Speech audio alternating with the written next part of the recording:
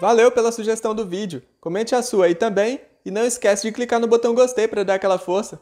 10 momentos muito loucos que aconteceram no futebol 2021, que é pra gente já ficar com saudade desse ano. Começando com o Davidson na final da Liberta, que é inesquecível.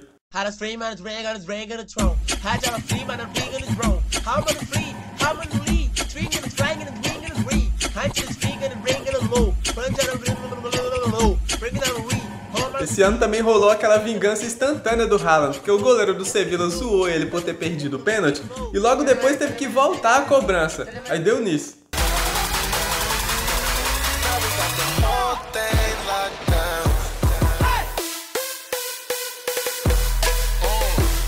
E aquela substituição do Agüero, que o cara lá que controla a placa pensou que ele era o 9, mas o Agüero foi lá e reivindicou a sua 10, que ele lutou tanto para conseguir.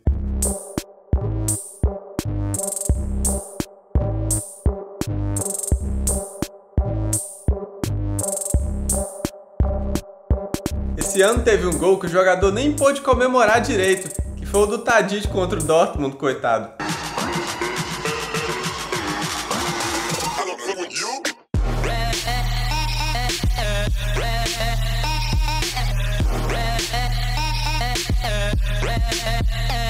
Um dos resultados mais loucos do ano foi um 5 a 0 que o Liverpool meteu no Manchester, na casa do Manchester. Aí o Cristiano Ronaldo ficou nervoso nessa disputa de bola aí.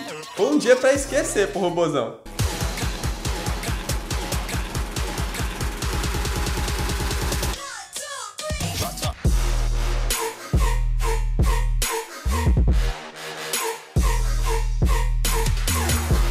Esse ano foi tão louco que até o Messi saiu do Barcelona, né? Uma coisa que ninguém esperava.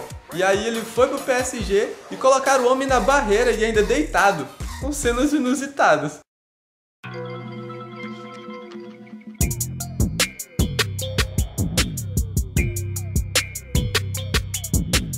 E lembra daquele árbitro do campeonato mexicano que trabalhou como goleiro para outro time?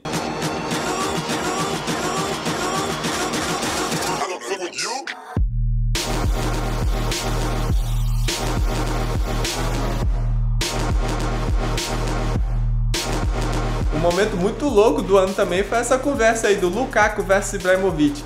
Saiu faísca.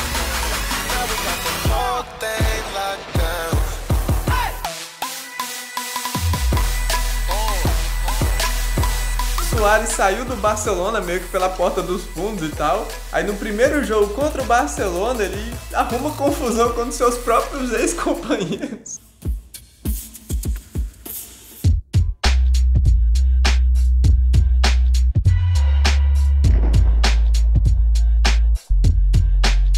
E um dos gols mais perdidos da história do futebol também saiu em 2021. Que ano mais louco que a gente viveu, né? Warning and without anyone. The atomic bomb.